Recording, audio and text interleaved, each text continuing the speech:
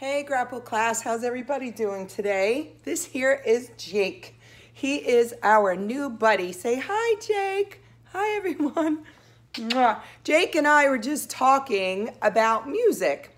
Actually, I was talking. Jake was doing all the listening, right? But okay, I'm gonna put you down, buddy.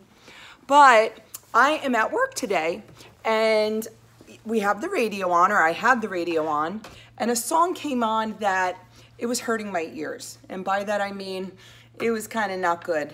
And my spirit inside me said, you shouldn't listen to this garbage. So, with that being said, how appropriate for today's lesson.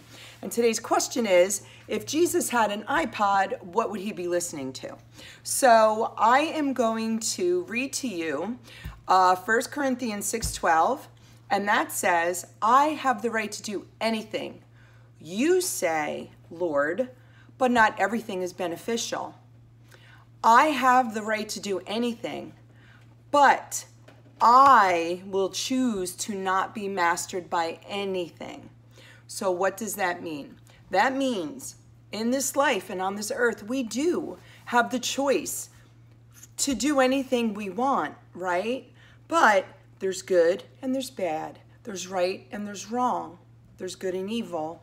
And we, as Christians and followers of Christ, we have to be very careful what we look at on the TV, what we listen to on the radio, and what we allow into our minds and into our hearts. Now, music is so important to the Lord. God created music, and his angels make music to him all day long in heaven, in the heaven, heavenly realms. And you know, we as humans, we praise and worship. We love music. A lot of us sing all the time. And it is a beautiful blessing and a beautiful gift, and it is God created. But along the way, the enemy has gotten in there and he has thwarted a lot of today's music and he has put a wicked, not pleasing God twist on a whole lot of music. So, what would Jesus listen to on his iPod? well, I don't think he would listen to music that um, promotes evil or sinful things or worldly things or conceited things. Jesus would have music on his iPod that would glorify the Lord, that would glorify the Father, and that would not be filling his heart and his mind with all sin filled, evil, wicked, dark things. So I just encourage you all to please do the same. Christian music today is awesome.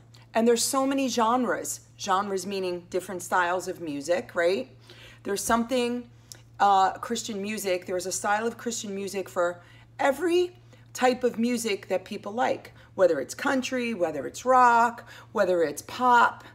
And so I just encourage you guys, let that be the music that you listen to. And if you listen to it on your iPad, iPod, let that be the, the music that you listen to.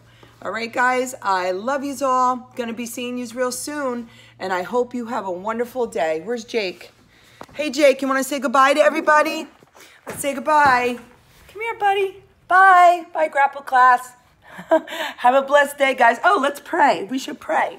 Lord Jesus, we thank you for this awesome day. We give you all the glory and honor, Lord, that is due your name. I just ask and pray, Lord Father God, that each grapple student would just be encouraged by this word today and by this teaching to seek to do your will and to please you, Lord, even when it comes to the music they listen to. That the music they shouldn't be listened to would just turn them off and would just be noise in their ears, but they would want to glorify you in everything they do, including the music they listen to and the shows that they watch as well. And Lord, I thank you for all the students and their families. I pray a blessing over each one. Keep everyone safe and healthy. In Jesus' mighty name, amen. Amen, guys. See you soon. Bye-bye.